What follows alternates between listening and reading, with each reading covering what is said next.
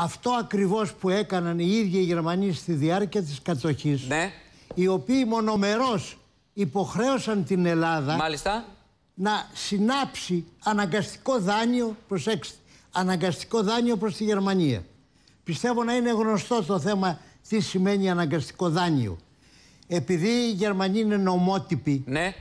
πάρα πολύ νομότυποι, νομότυποι, Ναι. επιμένω και ο συνάδελφος Καπρανάρος ξέρει ακριβώς τι σημαίνει νομοτυπία, θα ήθελα να πω το εξής. Υπήρχε μια διάταξη στη Χάγη που έλεγε ότι όταν μια χώρα κατακτήσει μια άλλη, ο λαός της κατακτημένης χώρας Ναι. είναι υποχρεωμένο να διατρέφει το στρατό κατοχής. Το 1907 όμως προσθέθηκε ύστερα από αγώνες των ανθρωπιστικών οργανώσεων μια ακροτελεύθερη διάταξη που έλεγε «Εάν δύναται». Έχουμε λοιπόν το εξής γεγονός. Εισήλθαν εδώ η στρατιά του Φοντής 500.000 Γερμανοί. Μάλιστα. Ακολούθησε το πρώτο σώμα το βουλγαρικό 60.000. Ακολούθησαν 250.000 Ιταλοί. Σύνολο 810.000.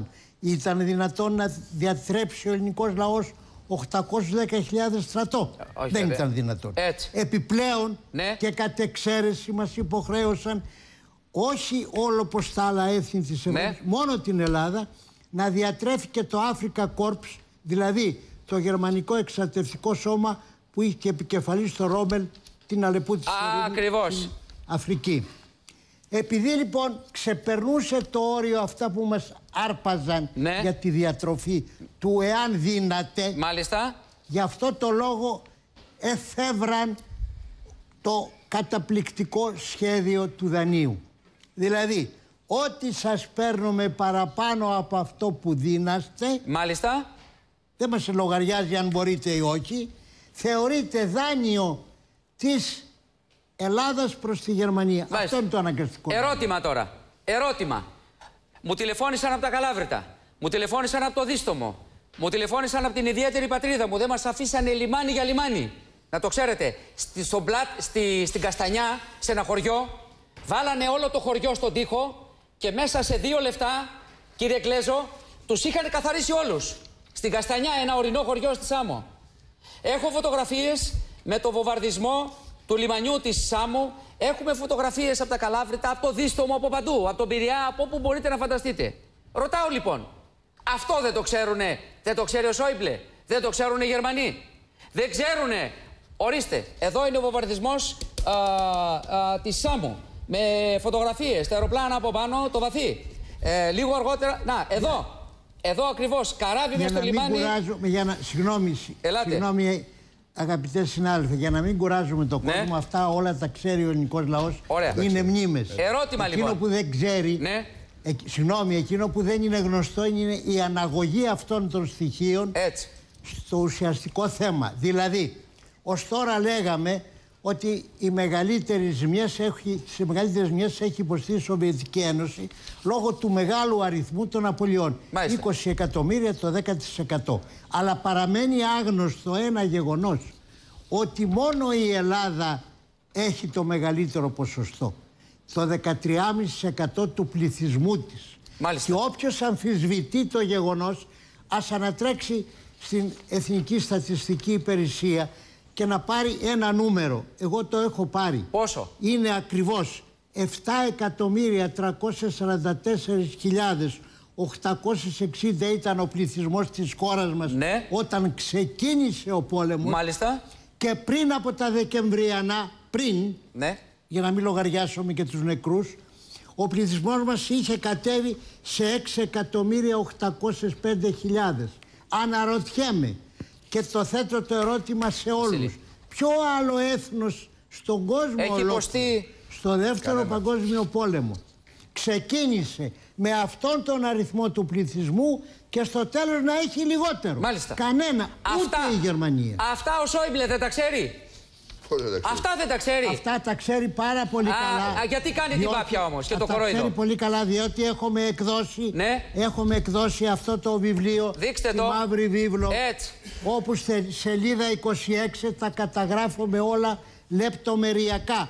και ως τώρα από τότε που έχουμε εκδώσει το βιβλίο Ναι. χρόνια πολλά πριν μέχρι σήμερα κανείς δεν τα έχει αμφισβητήσει. Όταν συναντηθήκατε Όλα με το. είναι γνωστά. Μάλιστα. Όταν συναντηθήκατε Και γι' με αυτό το το λόγο- Ράιχεμπαχ, γι' του τα αυτό το δείξατε λόγο- αυτά; Συναντηθήκατε με το Ράιχεμπαχ. Όλα αυτά, Ναι. όλα αυτά τα έχω δείξει Ναι. και στο Ράιχεμπαχ που ήρθε εδώ σε αυτό το σπίτι και με βρήκε. Ναι. Τα έχω δείξει σε όλους τους Γερμανούς πρέσβεις. Τα έχω δείξει στον υ- αντιπρόσωπο του Υπουργείου Εξωτερικών όταν πήγα στο Βερολίνο. Τα έχω δείξει παντού. Μάλιστα. Και ως τώρα κανείς δεν τα έχει αμφισβητήσει. Μάλιστα. Το θέμα δεν είναι αυτό όμως. Αυτά τα στοιχεία τα προβάλλουμε, τα δείχνουμε. Και εκείνο που θα ήθελα να πω είναι, σήμερα δεν βρισκόμαστε παρά σε μια κρίσιμη στιγμή όπου πρέπει όλοι οι Έλληνες, Ναι. ανεξαιρέτως, Ναι.